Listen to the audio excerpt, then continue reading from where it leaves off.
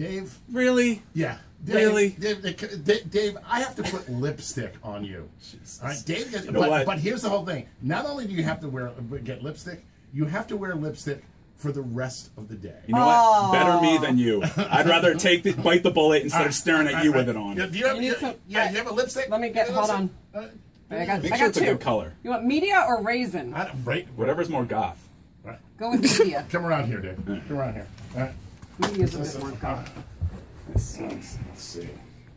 Don't ruin that. You don't have to. You don't have to push it up so far. Do you have to dry your lips or something? No, they're moisturizing lipsticks. You'll be fine. Oh, really? Okay. It's good for your lips. There you go, Dave. Come here. No, no, no. Just, just be. Here we go. Be, no, be, no, be normal. Oh, what the hell? That's the worst application. John, really? I know you I'm have amending experience this. in applying lipstick, but that looks like a clown mouth. I look like a bag lady.